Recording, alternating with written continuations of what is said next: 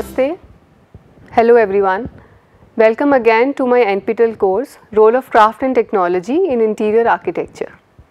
So we will be discussing module 20 today and it will be a summary of week 4. So we will see miscellaneous case studies uh, that we had seen throughout the week which focus on interior architecture and building crafts. So the broad contents again we will have a visual repository of space making crafts and interior architecture and we will explore them through varied case studies from India. They are miscellaneous all the uh, summary of what all we have been seeing throughout the week and we have some references. So this is case study from Agra which we had elaborately discussed in one of the previous modules. But since I am putting the miscellaneous case studies from India and this one is really very uh, exemplary as far as we are talking about building crafts and interior architecture. So I have put some slides again from Agra and here we see interior architecture and building crafts and their profound interrelationship. We see the filigree work over here, we see stone crafts, exquisite stone crafts and we see the pictures on the next slide. So, we can see how much detailing is there. Here this is the main entrance and we see the stone inlay. This is very exquisite stone inlay, quite detailed out and in depth. We have a lot of stone carvings. We see different kinds of space making elements, different kinds of arches. We have Hindu arch, we have Mughal arch, we have this kind of trefoil arch and we have columns we see the columns over here very intricate exquisitely carved column capitals. We see this carving further on the arches and the spaces between the two arches. This is the entrance that here we see the zoom in. So very monumental different kinds of space making principles we understand over here. We have this plinth which also has a lot of stone carving. We see here on the ceilings again different kinds of arches, so it's very eclectic. Eclectic space making elements, different craft forms, also the construction methods, joinery details, structural details. Here we see another, you know, motifs. These are like very intricately carved column capitals. We see them throughout the building at different floor levels. The railings, here we see the structures, the dome, the chhatris, all the different space making elements and different details of stone crafts we see across this building over here. Then we saw a few buildings from Gujarat. So these are some space making crafts and interior architecture uh, examples from Gujarat. We specifically saw this one from Sidhpur and we saw how in this one small space, space itself there are so many craft forms and so many techniques that have been uh, employed like plaster of Paris work, brick masonry, fret work, gilding, painting, wood carving, glass painting, here the brass casting, glass blowing technique, glass etching, marquetry work, ceramics, we see details in ceramics, carpets, upholstery over here, curtains, wood joinery. So all these different materials and you know techniques and uh, the details they create this space. So it's building crafts and interior architecture and we see a perfect marriage here. Different pictures of the furniture pieces over here we see a lot of details. Then they are these are some other buildings that we see you know uh, from Gujarat and they have details another building craft details over here. This again is a very beautiful aesthetic building. We see a color palette over here. We see a lot of space making elements the kind of spaces that are created and all the detailing of the craft. Here we see the carving we see timber as a material. Here we see stone and then we see this uh, structure integrated detail of the stone craft. All these details we see over here and there are several other buildings. I mean when we talk about Gujarat and especially Ahmedabad we all know that recently it received the uh, designation of the you know first heritage city from India which has been recognized worldwide. So it has very exemplary uh, cases you know uh, that can be studied and understood and learnt and carried forward in contemporary times. These are few other pictures from Gujarat and we see here furniture elements, we see the structural details, space making elements, we see details like this and we also try to these I mean these pictures in itself they are like photo essays. So we can understand a lot about the spaces through these pictures also. So this play of light and shadow that is happening the kind of tiling and the inlay work that is happening. Here we can see again space making elements, the arches, the columns, this railing. We can see the uh, stained glass work over here. So we see different kinds of art craft forms and construction details and space making elements. They all together contribute to a very rich space which is experiential, functional, structurally stable, aesthetic. So all these pictures in itself like all of us should actually do exercises and assignments like this and uh, we may have one of the assignments like this where we will have photo essays and we have to decode them and try to learn through them. These are another pictures and these are pictures of a mosque. This is from outside, very famous mosque, huge, gigantic, monumental. This is the interior and again we see the details of carvings over here and how stone, the local stone has been used for construction and all the details over here, the joinery details how the space making happens through different elements. You know, the priest stands over here and how the floor is laid, what is the structural grid of that space. From outside we see it's very ornamental, a lot of stone carvings at all different levels and here we see details, here on the main arch we see a lot of details. So all these are some interesting case studies from different parts of India and where we try to understand this interrelationship between building crafts and interior architecture. And also we try to understand the involvement of uh, uh, craft persons, artisans, communities, their uh, knowledge of materials, their skills, the kinds of tools and techniques they would have used. And then the final built environment that we get is the sum total of all this again some more pictures of the same mosque. And we see a lot of construction details over here. What is the structural grid? From inside we see over here some geometric motifs and carvings done. These are exquisite pictures. So here we see this stone jali and this beautiful play of light and shadow at different times. And we see like you know the different panels which are joined together and then this beautiful jali is created. So there is a very famous Siddhi Sayyed ki jali and which we saw in the case studies from Gujarat, the module specifically focusing on that. And it has been documented, studied several times, it's a masterpiece and it has been uh, constructed in several pieces which have been joined together and the joinery is so fine that one wouldn't even know, you know, where is that line of joint that is happening. That is pure craftsmanship and the skill of the creator. That's how that beautiful tree of life in the Siddhi Sayyed Jali got created.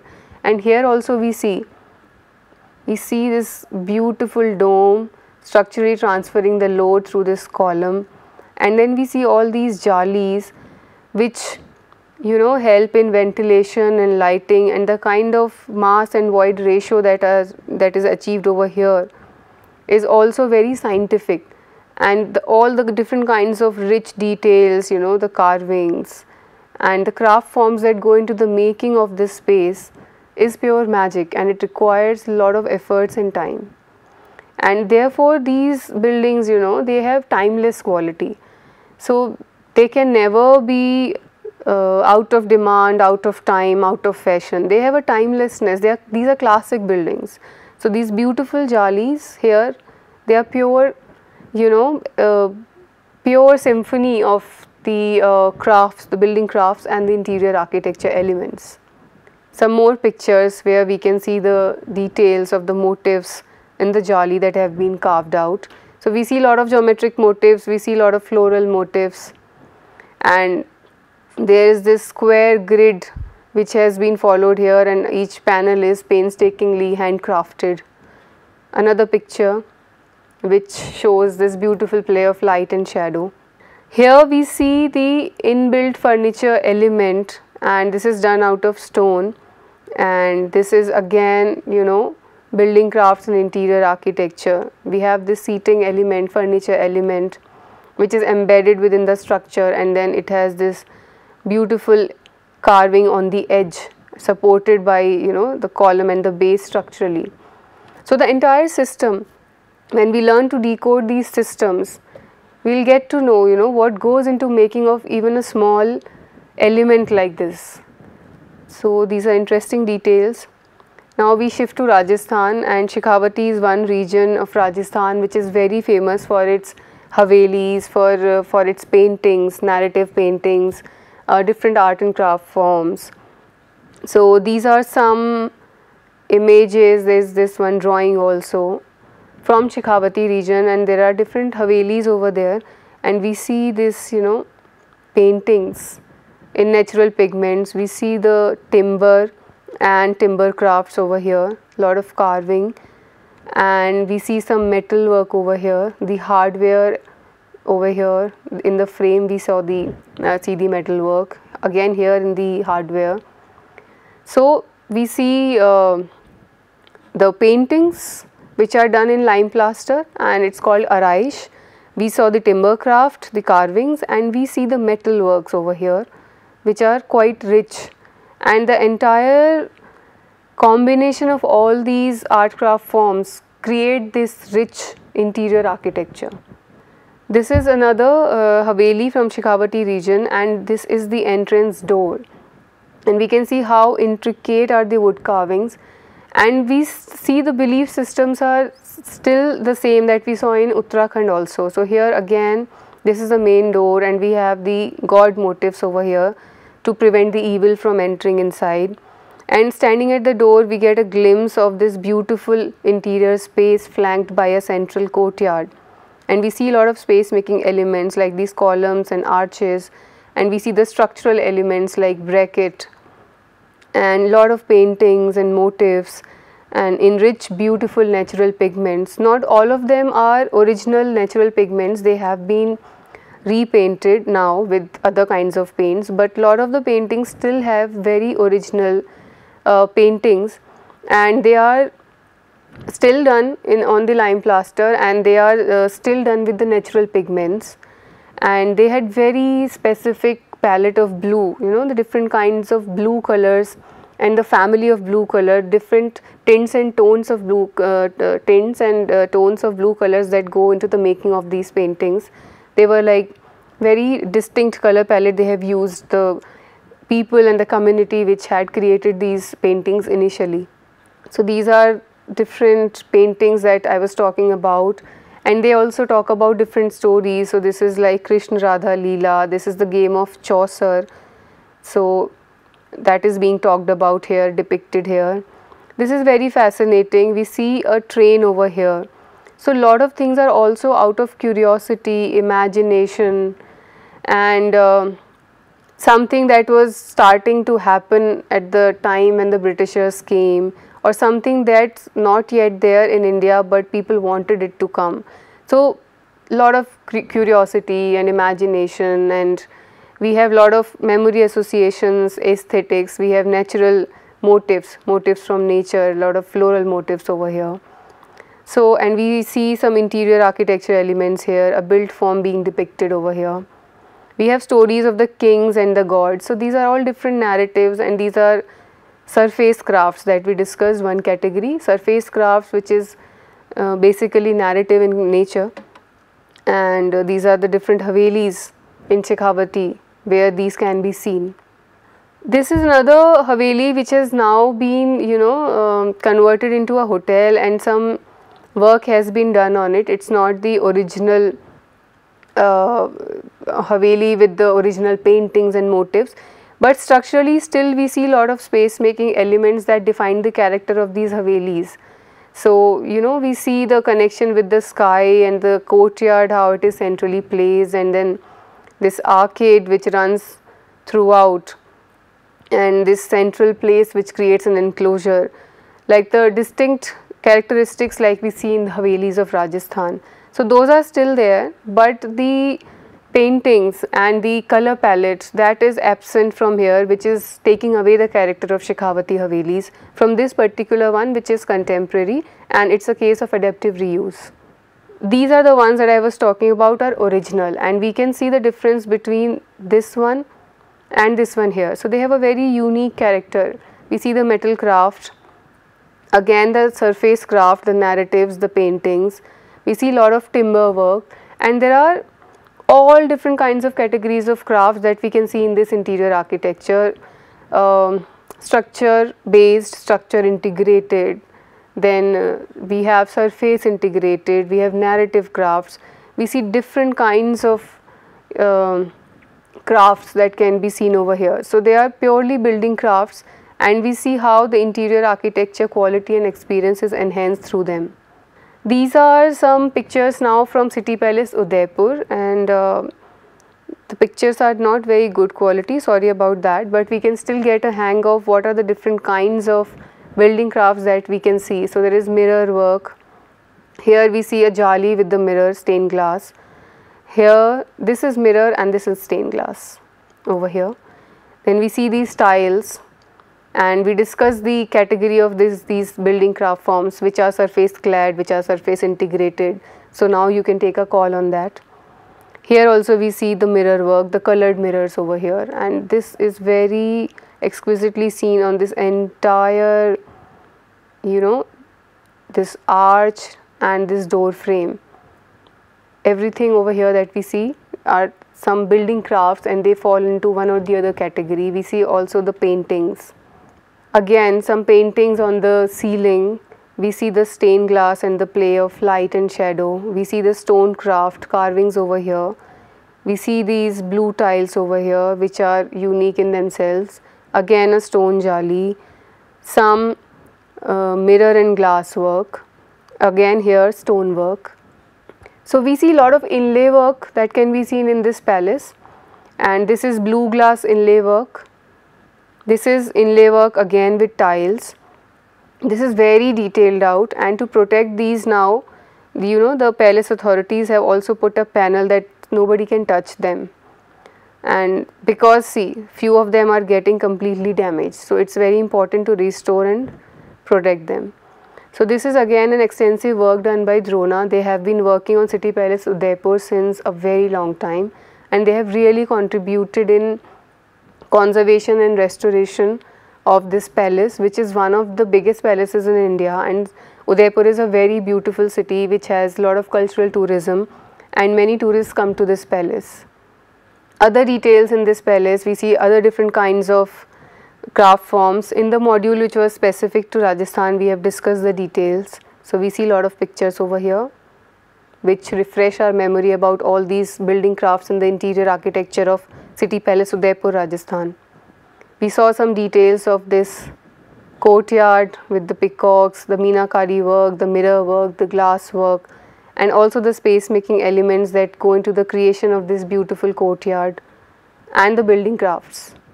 Uh, this is Mysore Palace, very famous Mysore Palace. It also has a lot of space making elements and building crafts. So, we see onion domes over here. Then we see the stained glass in the interiors here again we see the miniature arches over here, we see the balconies. So, there are a lot of space making elements, we see a structural aesthetics also as well as when we go in the interiors there are a lot of surfaces that are visually very appealing and very aesthetic. These are the pictures of the interiors. Now we see these tiles on the floor, they are very famous traditional Athangudi tiles and very few families are left which uh, still practice them. These are all handmade and we do not get to see them often now. So, they have a very unique vocabulary and a very distinct visual appeal. It is not uh, probably achievable in what we get as the manufactured tiles you know in contemporary times. So, these are all handmade and all the beautiful patterns that are seen over here. Here the different kinds of again handmade tiles and the cladding done the interior courtyard and all these space uh, making elements you know the huge columns and the arches and we see such details on the ceiling we see the metal work also this is a central, you know, inside the building we have this skylight and then there is lot of intricate stained glass work over here which I just, just mentioned in the previous slide that the in interiors has very exquisite stained glass work in Mysore Palace. Few other pictures we see here column base and shaft which is fluted with this golden what to say golden uh, lines or wires and here we see this beautiful intricate carving this is the stained glass work that I was mentioning. We see this uh, timber craft over here, the handmade tile work over here, this amazing ivory work on timber we see here. We see a lot of nice metal hardware. So again the different materials, their knowledge, uh, the knowledge of the craft persons to handle those materials, different kinds of techniques that have been employed, the stained glass work, the wood carvings, the metal work, all of this has resulted in creating a timeless interior architecture piece like this. Some more pictures again here. So beautiful ivory work again. So all these these building crafts and cultural activities and building uh, the belief systems of the community and the craft persons they have created this amazing palace now some uh, case studies from Uttarakhand that we saw, so I will be just brushing up. Royal Orchids in Dehradun, so we see a lot of stone and timber work here and very interesting joinery also. We saw this Bikaner Sarai in Haridwar and we saw different details of stone craft as well as you know metal craft in this uh, building. We saw this Gurdwara in Dehradun and we saw some nice frescoes and some interesting space making elements uh, in this one. We saw the pictures and we saw again the very intricate uh, motifs and fresco work. We also saw some stone craft in this uh, Gurudwara but which is the later edition. We saw these amazing pictures from Dharchula which here show the intricate wood carvings and different space making elements. We saw the um, details of the Jageshwar temple and this is also very famous temple and richly uh, crafted out of stone. We saw this beautiful Mahashivdevta temple and we saw the different uh, space making elements and different ornamentation and different details that are present uh, on the you know uh, building and different construction details. We also saw uh, one old Haveli from Roorkee and there are a couple of them, uh, actually few, quite few of them which are there in the old Roorkee. And we saw the structural details and we also saw the building crafts. We saw the timber craft, we saw the stone craft.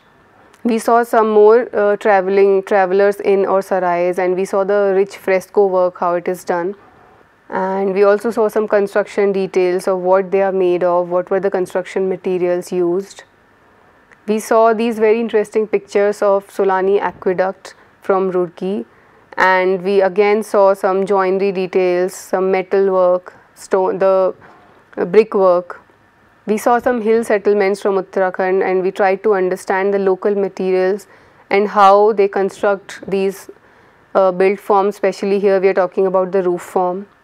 We also just brushed up and uh, saw a few slides on Koti Banal architecture which we have been anyway discussing about.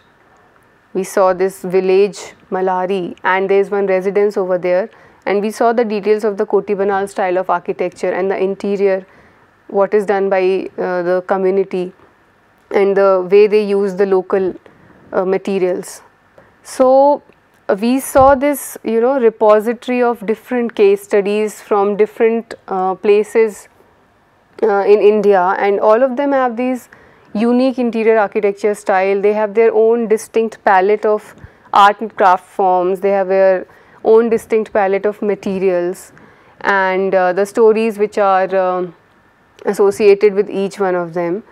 So throughout all these previous modules and especially this one where we are talking about case studies, we were just trying to uh, create a plethora of different interior architecture styles and different art and craft forms so that we could have this um, creation of repository of different cultural and creative industries of India and all of us can contribute in our own ways so that we have a rich resource hub, we document them, we understand them, we study them and we try to take them forward in whichever possible ways we can. Obviously there will be some modifications either in the material palette or in the morphology or in the interpretation or expression. But the, the fact is that we have such rich knowledge systems and we have such skills and we have such uh, interesting art and craft forms. So, in whichever way we want to continue them, but it is important that we link back to them and do not let them languish and eventually find people who still work with them and create employments. So, if we as architects during our projects, if we can make this a thumb rule that you know we will uh, employ certain craft persons and they will be the inherent and innate part of our projects like architect Nimish Patel does, Abhikram Architects. So that's a very interesting way of creating interior architecture which also contributes in the uh, recognition of creative and cultural industries, creating employment and creating timeless interior architecture. I would like to end up with this interesting quote. Always design a thing by considering its next larger context. A chair in a room, a room in a house, a house in an environment, an environment in a city plan. So, it is very important also to think about the context in which we are situating a design. Architecture is not like physics or mathematics. Even though it uses technology and engineering, it's an art. And because we live in buildings, work in buildings, even celebrate the spirit in buildings, architecture is a very human pursuit. It's in the humanities. So, this is what sums up when we talk about the human involvement, creativity, imagination and community involvement. Our next module, it will focus on craft and technology in interior architecture, decoding systems. So, it will be very interesting to know how we decode systems embedded within interior architecture and craft and technology. Some references for all of us. Now, this slide is specific to what we discussed today, case studies from Rajasthan and uh, Gujarat, Uttarakhand. So, we have something on Thikri Kam, city palace museum that we saw, glass making technique, something from Uttarakhand and Himachal uh, Pradesh where we see timber and stone uh, Koti Banal architecture. So, these are some specific references other than that the consolidated list.